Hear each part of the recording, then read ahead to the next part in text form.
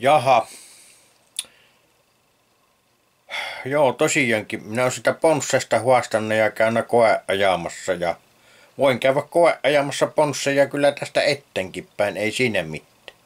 Tällä erää kuitenkin omasta ponssesta haaveet on sitten haudattu, eli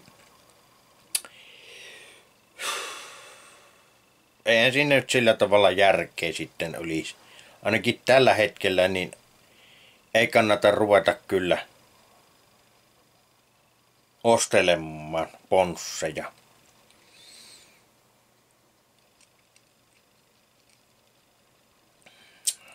Tuli no, kaiken lisäksi tuli no äitin no perintöverot vielä tuossa maksuun, niin ei tässä nyt niin tuota. Täytyy työ kahtelemaan näitä ponssavuotteita, joista vielä kiitoksia. Semmoista. Mutta jos jollain on tarjota ponsseja ajo tai harvesteria koeajon, niin voin minä tulla videon tekemään siitä, ei siinä mitään. Mutta omasta ponssesta on nyt toistaiseksi haaveet sitten haudattu.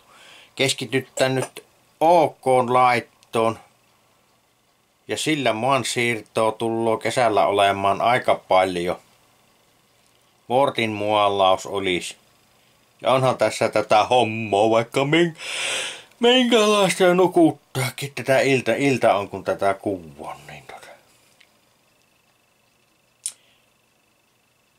Mutta lopetetaan nyt tämä ponssesta höpötys nyt vähäksi aikaa. Ja tota.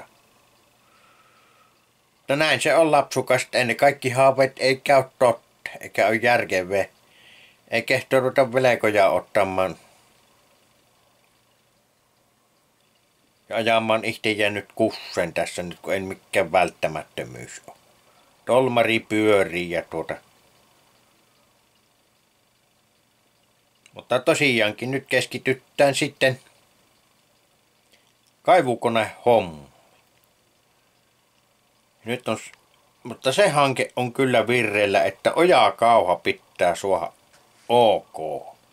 Se on virreillä. Siitä emme luovu. Se on, se on suotava. Niin se ojia kaivelen. Ja väsyttää. Semmosta.